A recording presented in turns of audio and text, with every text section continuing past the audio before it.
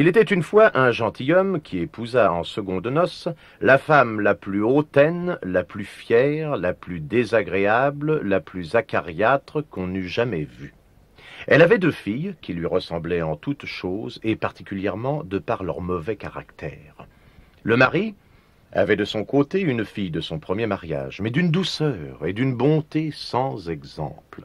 Sa belle-mère ne pouvait la supporter, car sa beauté et ses bonnes qualités faisaient paraître les deux autres filles encore plus détestables. La pauvre enfant était chargée de toutes les occupations les plus viles et les plus pénibles. Elle nettoyait la vaisselle et les escaliers, frottait la chambre de madame et de mesdemoiselles ses filles, de belles chambres toutes parquetées, alors qu'elle-même couchait sur une paillasse dans le grenier, astiquait les meubles et les planchers et n'osait se plaindre. Mon père me gronderait si j'osais me plaindre à lui. Je vois bien, hélas, que ma belle-mère le gouverne en tout. Lorsqu'elle avait fait son ouvrage, elle allait s'asseoir au coin de la cheminée, dans les cendres, ce qui fait qu'on l'appelait communément Cendrillon. Avec ses méchants habits, elle était cependant cent fois plus belle que ses sœurs dans leurs vêtements magnifiques. Il arriva que le fils du roi donna un bal, et qu'il y fit inviter nos deux demoiselles, comme toutes les personnes de qualité du pays. Les voilà bien aises et tout occupées à choisir les coiffures et les habits qui leur iraient le mieux. Moi, je mettrais mon habit de velours rouge et ma garniture d'Angleterre. Moi, je n'aurais que ma jupe ordinaire des dimanches, mais je mettrais mon manteau à fleurs d'or et ma barrière en diamant. Cendrillon Cours chercher la coiffeuse Fais vite, Cendrillon, nous ne serons jamais prêts. Cendrillon oh, En chemin, pas chez la bonne faiseuse pour acheter des mouches. Veille à les choisir avec soin, ou tu t'en repentiras. Cendrillon m'aider à lasser mon corsage. Cendrillon, repasse les manches de ma robe. Ah, tu m'as encore cassé un lacet. Je ne t'avais pas dit de serrer si fort. Tu n'es qu'une envieuse, Cendrillon. Donne-moi un coup de peigne, Cendrillon, et tâche de ne pas me peigner de travers. Je vous coifferai parfaitement, mademoiselle, je vous assure. Pourquoi m'appelez-vous envieuse?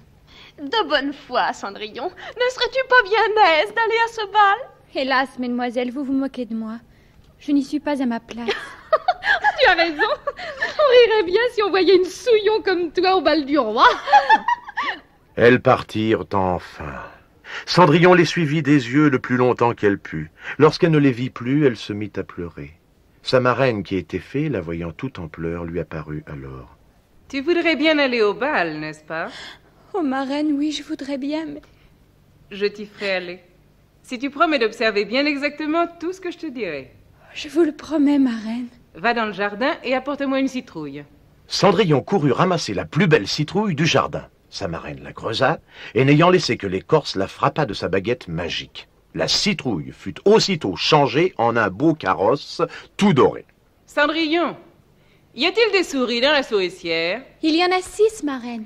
Lève un peu la trappe, qu'elles sortent une à une. À chaque souris qui sortait, elle lui donnait un coup de sa baguette, et cela fit un bel attelage de six chevaux, d'un beau gris de souris pommelées. Il y a aussi un rat dans la ratière, marraine. Nous en ferons un gros cocher à moustache.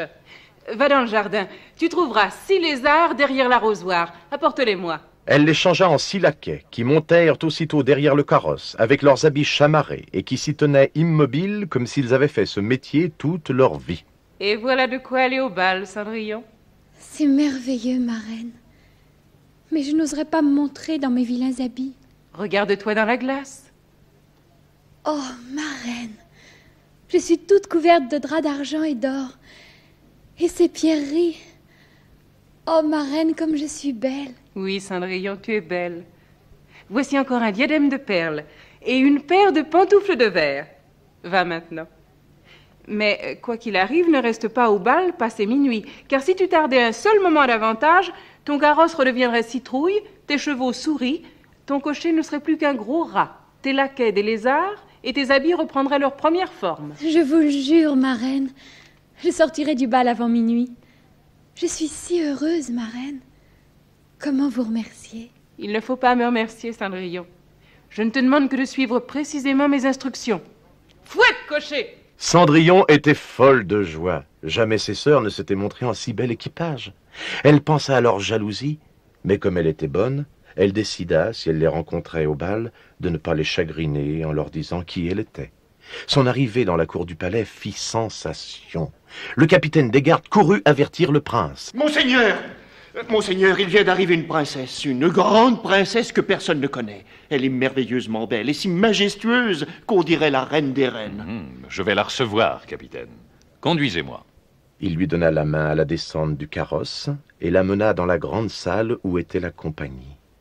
Il se fit un grand silence, tant chacun était stupéfait de sa beauté. Le vieux roi lui-même, se penchant vers la reine, lui confia. Madame, il me semble que j'ai vingt ans et que je vous vois quand vous étiez jeune et belle. Quelle aimable personne. Vous ne trouvez pas Le prince la fit asseoir à sa droite et puis l'invita à danser. Elle dansait avec tant de grâce qu'on l'admirait encore davantage. On servit un léger souper dont le prince ne put avaler une bouchée tant il était ému et occupé à la considérer. Cendrillon alla vers ses sœurs et leur offrit des oranges et des citrons doux que le prince lui avait donnés. Elles furent très étonnées de tant de civilité, car elles ne l'avaient pas reconnu. On entendit soudain sonner minuit moins le quart. Cendrillon sauta sur ses pieds et fit une grande révérence à toute la compagnie. Votre Majesté, Madame la Reine, beau prince, je vous prie de m'excuser. Et elle s'en alla le plus vite qu'elle put. Le prince courut après elle, mais ne put la rattraper. Pas Revenez, princesse, il est encore tôt Au moins revenez demain, je vous en supplie Dès qu'elle fut arrivée, Cendrillon s'empressa d'aller remercier sa marraine et de lui raconter sa soirée. S'il vous plaît, ma reine, faites-moi retourner au bal demain. Le fils du roi m'en a supplié. Il est si beau, ma reine. Me laisserez-vous y aller encore demain, ma reine Tu iras, Cendrillon, à condition de ne pas oublier ma recommandation et de quitter le palais avant minuit, comme tu as fait aujourd'hui. Sur ces entrefaites, les deux sœurs frappèrent à la porte. Cendrillon alla leur ouvrir, faisant l'endormie, alors qu'elle n'aurait pas pu être mieux éveillée. Comme vous avez été longue à revenir. Était-ce beau le bal, mes sœurs? Vous êtes-vous bien diverties Divertie Oh, Cendrillon, si tu étais venue à ce bal, tu ne te serais pas ennuyée, crois-moi.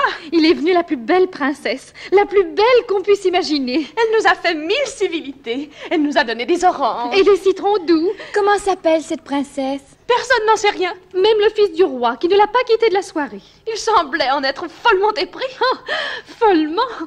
Il dit qu'il donnerait tout au monde pour savoir qui elle est. Elle doit être fort belle, en effet. Hélas, ne pourrais-je point la voir, moi aussi? Mademoiselle Javotte, prêtez-moi votre habit jaune que vous mettez tous les jours. Oh, voyez-vous ça oh, Prêtez mon habit à cette souillon C'est à mourir de rire. Oh, Il faudrait que je fusse folle alliée Le lendemain, les deux sœurs retournèrent au bal, et Cendrillon aussi, encore plus parée que la première fois. Le fils du roi ne la quitta pas un seul instant, et pas un instant ne cessa de lui dire mille compliments et gentillesses. Cendrillon l'aurait bien écouté parler toute sa vie. Oh mon Dieu, il est minuit. Elle s'enfuit comme une biche. Dans sa course, elle laissa tomber une de ses petites pantoufles de verre que le prince ramassa bien soigneusement. Capitaine Capitaine Avez-vous vu sortir la princesse? Princesse? Non, monseigneur, pas de princesse. Nous avons justement vu passer une jeune paysanne fort mal vêtue qui courait à perdre haleine. Mais pas la moindre princesse, monseigneur. Cendrillon arriva chez elle, tout essoufflé, sans carrosse, sans laquais, dans ses méchants habits de souillon. Rien ne lui était resté de toute sa magnificence, qu'une de ses petites pantoufles, pareille à celle qu'elle avait laissée tomber et que le prince avait ramassée. Son cœur battait encore à lui rompre la poitrine quand les deux sœurs revinrent du bal. Oh, ma pauvre Cendrillon, quelle affaire La cour est dans un émoi Pourquoi, mesdemoiselles? La belle princesse ne serait-elle pas venue? Aussi Elle était encore plus merveilleuse qu'hier. Si tu avais vu les regards enfiévrés que lui lançait le prince C'est bien simple, c'était émouvant. Très émouvant. Mais au premier coup de minuit, elle s'est enfuie. Sans rien dire à personne. C'est même un peu étonnant de la part d'une personne si bien élevée. Elle courait si vite qu'elle a laissé tomber une de ses petites pantoufles de verre. Oh, la plus ravissante pantoufle du monde. Que le prince a ramassée et a gardée sur son cœur pendant tout le reste du bal. On voyait bien qu'il était fort amoureux de la belle personne à qui elle appartenait. En effet, peu de jours après, un édit royal fut crié dans les rues. Avis à la population Sa Majesté le roi, Sa Majesté la reine et Son Altesse, le fils de Sa Majesté le roi et de Sa Majesté la reine, font savoir à leurs fidèles et bien-aimés sujets que, une pantoufle de verre ayant été trouvée lors du dernier bal de leur Majesté et de Son Altesse en royal, Cette pantoufle étant si fine et si menue que de toute évidence, seul le pied d'une personne de grande qualité peut y trouver place, et encore. Cette personne étant apparue par deux fois au bal de leur majesté de son Altesse royale, où plusieurs milliers de gens dignes de foi ont pu constater son existence, et jurer l'avoir vue et lui avoir parlé. En conséquence, son Altesse royale, le fils de leur majesté, désire épouser cette personne. On la reconnaîtra au fait que son pied entrera tout juste dans la dite pantoufle. À cet effet, un gentilhomme de la cour se présentera chez toutes les demoiselles du royaume pour leur essayer la pantoufle. Qu'on se le dise Quand on eut visité les princesses, les duchesses, les marquises et toutes les dames de la cour, mais inutilement, il fallut bien en venir aux filles des simples barons et des bourgeois. On apporta donc aussi la pantoufle chez les deux sœurs, qui firent des efforts inouïs pour y faire entrer leurs pieds. Le gentilhomme de la cour s'impatientait. Voyons, mesdemoiselles, vous ne pourrez pas en venir à bout. C'est assez évident. Laissez-moi encore essayer, monseigneur. Oh, monseigneur, j'avais mis mon pied de travers. Et puis, vous savez, l'émotion, la chaleur. N'insistez pas, mesdemoiselles. Mais ce n'est pas dans cette maison-ci que je trouverai la personne que nous cherchons. Et si elle m'allait à moi? Oh, Cendrillon, ne dites pas de bêtises. Faites perdre son temps à monseigneur. J'ai ordre d'essayer la pantoufle à toutes les filles. Euh, Veuillez vous asseoir, mademoiselle? Oh, mais votre pied y entre tout juste et sans peine. Cendrillon sortit alors de sa poche l'autre petite pantoufle qu'elle mit à son autre pied. L'étonnement des deux sœurs dépassait tout ce qu'on saurait dire. Là-dessus, arriva la marraine, qui, ayant donné un coup de baguette magique sur les habits de Cendrillon, les fit devenir encore plus magnifiques que les autres fois. Cendrillon, pardon. Pardon, pardon, Cendrillon. Toutes ces injures que nous t'avons dites, Tous ces coups que nous t'avons donnés. mais aussi, comment aurions-nous pu savoir? Ah oui. Relevez-vous, mes sœurs. Je vous pardonne de bon cœur. Aimez-moi toujours comme je vous aime. On l'emmena chez le jeune prince qui se désespérait. Il la trouva plus belle que jamais et l'épousa dès le lendemain. Cendrillon, qui était aussi bonne que belle, fit loger ses deux sœurs au palais et les maria bientôt à deux grands seigneurs de la cour.